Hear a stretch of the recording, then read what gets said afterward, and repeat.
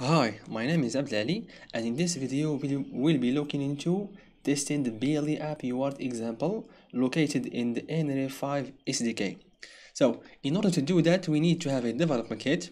So either you need to have the NRF52 development kit or the NRF52840 development kit actually uh, any NRF52 based development kit. For my uh, for for me I'll be testing on the NRF52840 development kit. So if you have the NRF52 development kit you can also use it. It's the same uh, you, you you have you'll have the same uh, the, the, the same steps to follow. Okay, so uh, for development kit, next you need to have the NRF command line tools installed in your PC. So you just head over to this page here and install the latest version for your operating system. So you just select oper your operating system here and uh, click this link here to download the NRF command line tools. The next is the NRF 5 SDK. Uh, for this example, I'll be using the version 16.0.0 of the NRF5 SDK. So you need to download that. Okay, the next tool that we need to have is the SEGGER Embedded Studio. As we'll be using the SEGGER toolchain, so you need to, uh, to download the, the SEGGER Embedded Studio. So you need to you can do that in this page here. As you can see here, it is available for many operating systems. You just uh, hit this download buttons here for your operating system.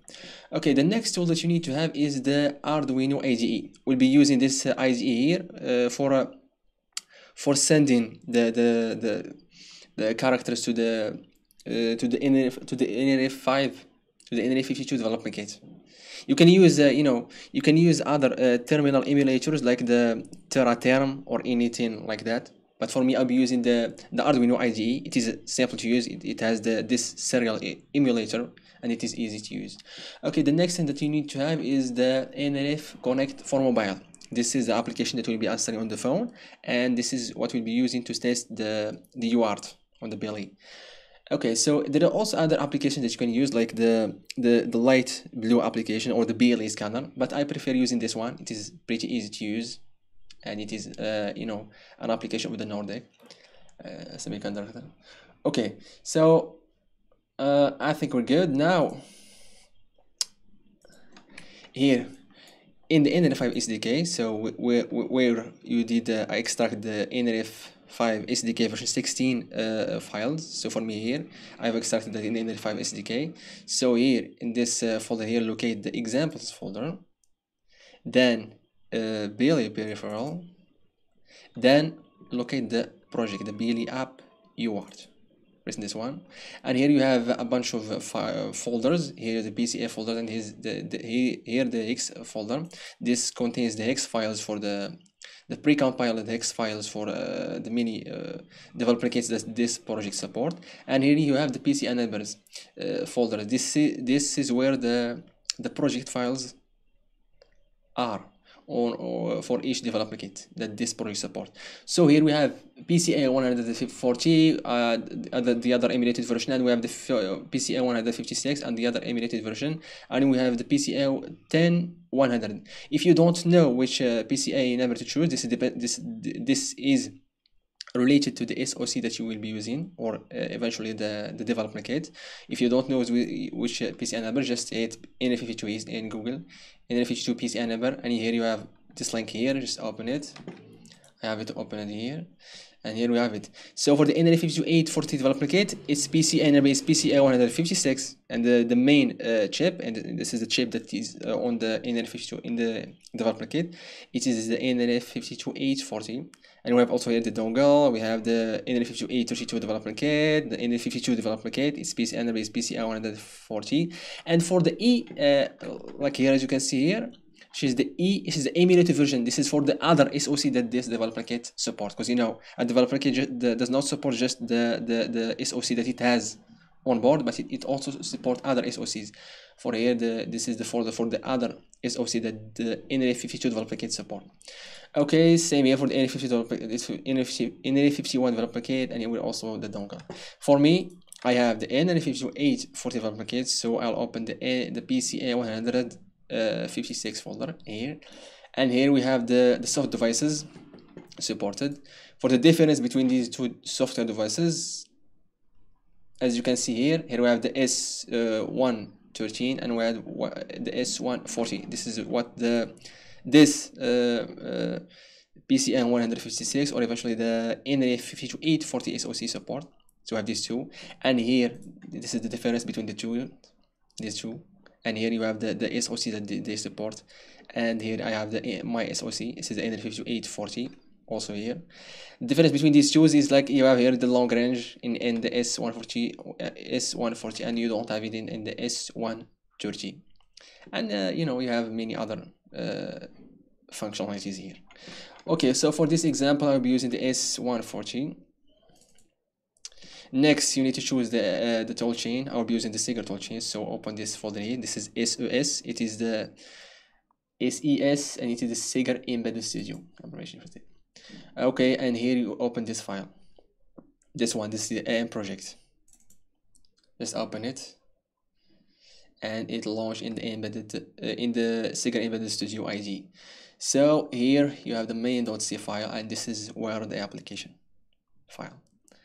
Cool so just a, a small so we have this device name. This is the device name that we'll have in the in the app we'll, we'll be looking for our development kit. So we have the nordic keyword cool. So uh, we have the i have my development kit. Let's connect my development kit to the pc and here i have it. So just uh, open it here. And here i have my development kit. See? Okay so next what we're gonna do is just uh, head over to uh, target connect J-Link good. Now next you need to uh, erase all. So you, you erase all the, so so we can erase all the you know the previous uh, project that is uh, flashed to the the, pre the previous application that is installed on, on my development kit. Next after that is done successfully. Next you're gonna need to hit build. Here in build money and hit build and run. And it is building and running the application I will be running in the application in a second as you can see here the in the the, the board does not uh, you know blink. The LED that uh, you know that shows the advertising does not yet blink. So once the application running you'll have an LED that blinks. This is for the advertising for showing the advertising. And here we have some functions here. We have the services in it. Same for many uh, BLE uh, BLE related, related applications. Means that the, the application uses BLE and you can see here this is the, uh, the, the function that is responsible for blinking that LED see here? When we have the BLE advertising event fast uh, we have the BSP indication set BSP indicate advertising. And this function is what is responsible for blinking the LED one on the development kit cool so we have the application running on our development kit next we need to head over to our phone here. And here I'll launch the NRF Connect application and there you have it. Also you need to make sure that bluetooth is uh, on here. You'll have an error here if you don't have it. Okay so here the application is scanning. As can you see stop scanning. It is scanning. And it finds uh, the our board and here it is. So we'll just make connect. And here we are, we are connected to the board. And you can see here the LED is turned solid Next, we have the services here, generic access, generic attribute, and we have our service here. This is the Nordic UART service, and here is here it is the UID. See, this is not a uh, a SIG uh, adopted uh, service, so it has a 128 bit UID. And here we have the two characteristics. We have the RX, char RX characteristic. This is where you can write, as you can see, the properties. Write. We have the uh, write property and the write without response the, the difference between this write without response uh, with no response at the, the write this is the write with response is that this write with no response is fast. It can uh, you know perform fast than the, the write but here you don't have a response so we don't know if the if the uh, device gets your message your uh, your message or not okay? And here you have the TX characteristic. This is where you get what the, the development kit sends through this uh, through this uh, characteristic or the service. Okay, so uh, to get what the development kit sends, we need to enable notifications on this characteristic here. As you have, as you can see here, it has a notification characteristic. you just press this button here and you have see here you can see the disc in the descriptors you have the this value notifications enabled cool now we need to head over to the arduino ide cool so in the arduino ide here just uh, you need to head over to tools then in the port. Here the port you need to select the port for for your development case. Okay so to uh, to check your uh, the port the com port for your developer kit you, you just uh, open the device manager and head over to ports and com and lpt here. And as you can see here i have J-Link cdc uart port on com19 cool so just close that and here in the tools you just you don't need to you know worry about all these just head over to tool to port and select com19 cool. After that just open this serial monitor here. And here I have it open here. One and I have this one here. Cool. next. Next in here auto, uh, check this auto scroll here. Don't check this one. And here you need to check this new line this here adds a new line which is just a uh, backslash and n to the message that you send here to the characters that you support here.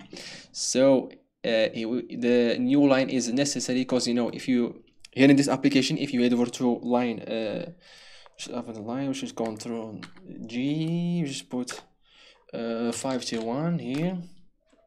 And as you can see here this is the UART event handler function here function for handling app UART events this uh, in the details this function will receive a single character from the app UART module and append it to the to a string.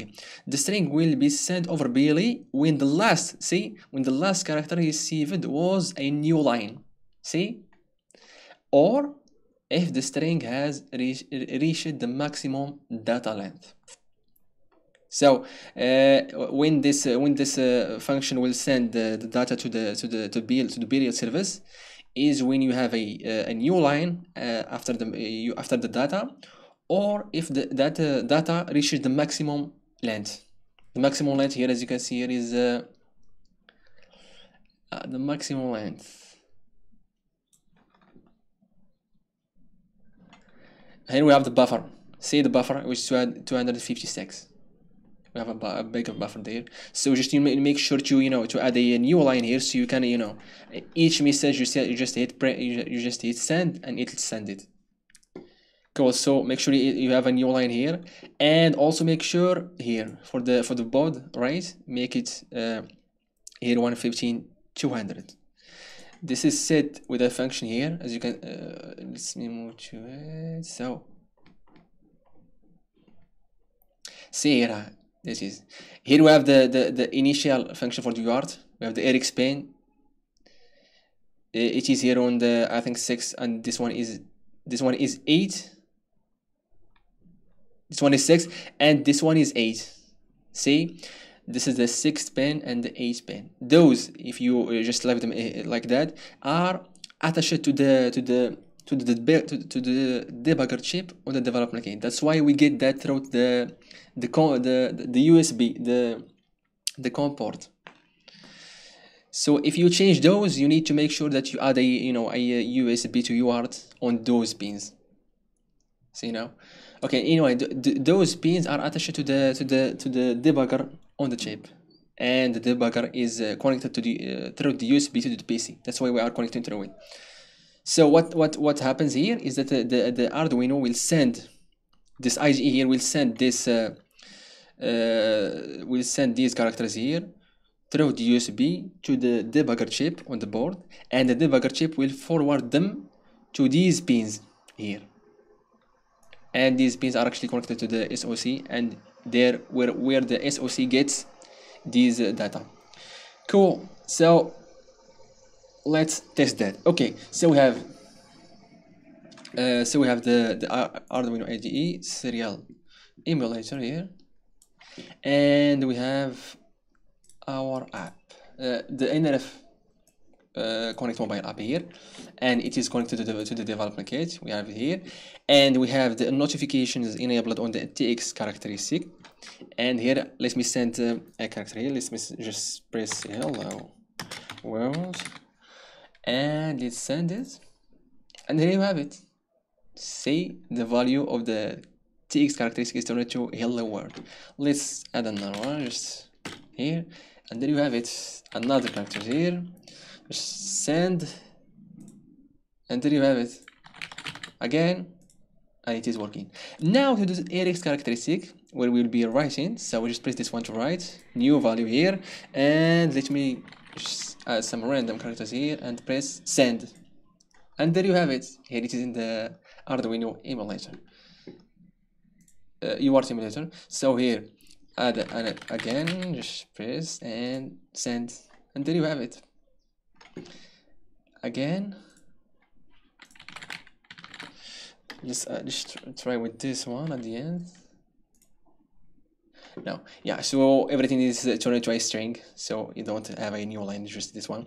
Cool. And i think that's it. So you have it. That's you have it.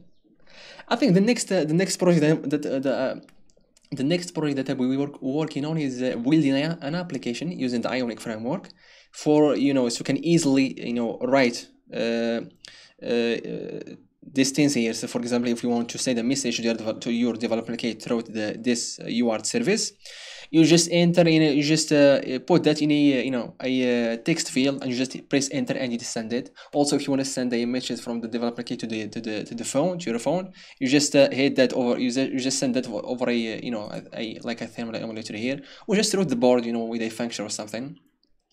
And you know with with something like like when you send sensors data or something like that so you can just send it and it will appear in your application.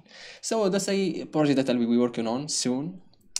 Okay so I think that's it for the for this video. Hope you learn uh, something from it. And uh, thanks for watching